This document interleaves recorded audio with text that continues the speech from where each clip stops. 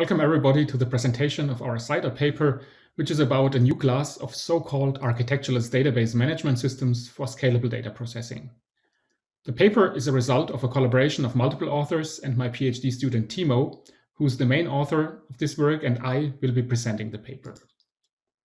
Today, as we all know, scale-out database management systems are widely being used in industry and are not only popular for on-premise installations, but also dominate the cloud market.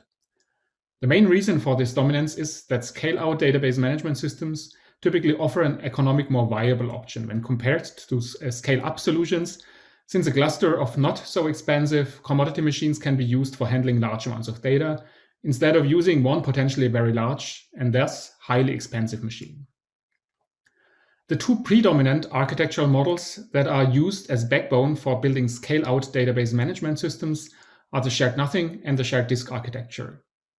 While in a shared nothing architecture, each node provides compute and storage in an aggregated manner and has the autonomy over a partition of the data, in a shared disk architecture, the compute and storage are disaggregated and compute nodes have access to all data via a shared storage layer.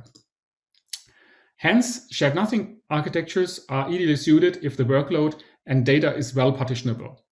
However, the performance of a DBMS that implements such an architecture typically degrades under skewed or hard to partition workloads where some nodes are being idle and others are being overloaded.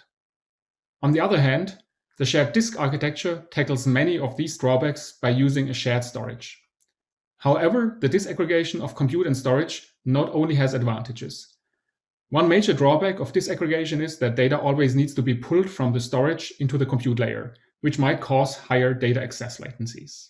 An important observation that holds true for both architectures, though, is that the choice of which architecture a DBMS implements is a design time decision, and hence the architecture-dependent characteristics, such as those mentioned before, are more or less statically baked into the core of the DBMS and cannot be altered at runtime.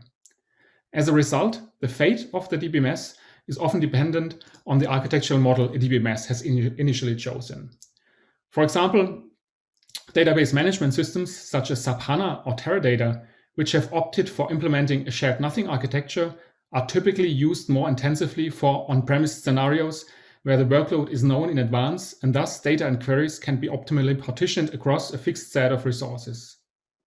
However, shared nothing database management systems have a hard time to make their way into the cloud, where the workload is less predictable and hence elasticity and robustness against skewed workloads, for example, are key requirements.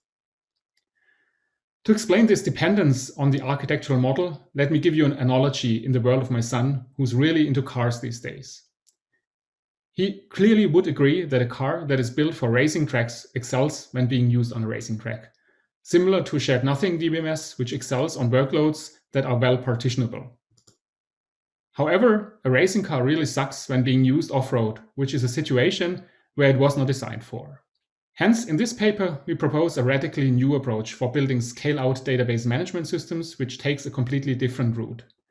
Instead of hard baking an architectural model statically into a DBMS at design time, we propose a new class of database management systems which can adapt their architectural model at runtime to easily support a given workload. Adaptability of a DBMS at runtime has clearly been studied already in the past, for example, for adaptive query execution. However, different from approaches such as Eddies, which have focused on adaptability on the micro level of individual components, our approach aims for supporting adaptability more holistically across components. As a result, an architectureless DBMS can either mimic classical architectures at runtime or form completely new architectures such as hybrids of shared nothing and a shared disk architecture. In the following, Tiemo will next discuss the main ideas on how such an adaptability of the architecture at runtime works and report on our initial results of building such a system. Thanks, Carsten. So the main idea of our approach is that in an architectureless DBMS, each database node is composed of a set of generic components called any components or ACs for short. The key to adaptability at the architecture level is that an AC can act as any DBMS component at runtime for instrumenting these generic components and to coordinate the overall execution on the DBMS, each of these ACs consumes two streams, an event stream and a data stream. While the event stream encodes the operations to be executed by the AC, the data stream delivers the required state. For example, if an AC is instrumented by a compile query event, along with the required metadata and statistics from a database catalog, an AC can act as query optimizer.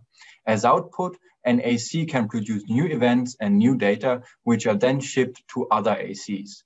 In the example, when an AC executes a query compile event, this AC creates a set of new events as output that trigger the execution of individual query operators. These new query execution events then instrument ACs to become workers for query execution, executing query operators such as filter, join, or aggregation.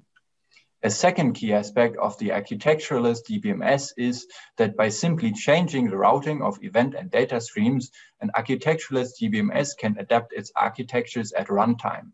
For example, for executing OLTP queries under a normal load with fixed resources, the event and data streams could be routed such that the architecture forms a traditional shared nothing architecture. If the overall load increases, it might be beneficial to add more nodes and reroute the event and data streams to additional resources. To make use of additional resources in AnyDB and to deal with the increased load, some operators can be executed by additional compute resources simply by rerouting the data and events moving towards a shared disk style architecture.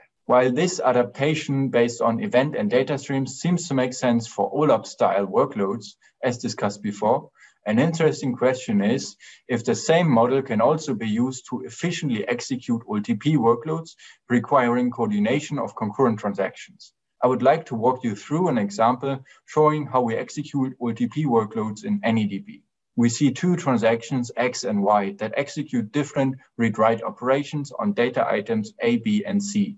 The main idea of mapping these transactions to our execution model is shown on the right. Similar to executing OLAP queries, individual read-write operations of the transactions are executed by sending events to ACs, while the order of operations within a transaction is being modeled as event stream. For example, for executing an instance of transaction X, say X1, we would first trigger an event to execute the read-write operations on A using one AC, this AC then creates a follow-up event that triggers the execution of the read-write operations on B. An interesting question is now how isolation of concurrent transactions can be implemented in this execution model. A naive solution to coordinate the execution would be a distributed lock table. However, a global lock table would lead to high latencies and low throughput since each operation must access the global lock table. Hence, in AnyDB, we suggest a different route. Instead of using a global lock table, we make use of the fact that we represent the workload as a stream of events and use event ordering for concurrency control without any need for locking to provide isolation. For example, for executing the transaction instances of x1, x2, and y1 in the example concurrently, we must guarantee that the events of x2 cannot overtake the events of X1. Otherwise, the resulting schedule would be non-serializable. Let me now show you some initial experimental results. Here we see an experiment where we compare AnyDB that can adapt its architecture to an open source DBMS which uses a static shared nothing architecture. Over the course of this experiment, we varied the workload from partitionable OLTP workload over skewed OLTP workload to an HTAP workload. And the first phases, where the workload is well partitionable, the shared nothing DBMS excels. But AnyDB, since it can mimic the shared nothing architecture, can achieve almost the same performance. Over the course of the experiments, we see a clear benefit of AnyDB. Under skewed OLTP workload, our execution model allows AnyDB to make use of all available resources, while the shared nothing DBMS suffers from load imbalance. Also, since we avoid locking with our novel streaming-based CC scheme, AnyDB is less sensitive to contention. When executing the HTAP workload, AnyDB excels as well, as the sporadic OLTP queries can be executed on additional resources handling the increased load. Let me now wrap up.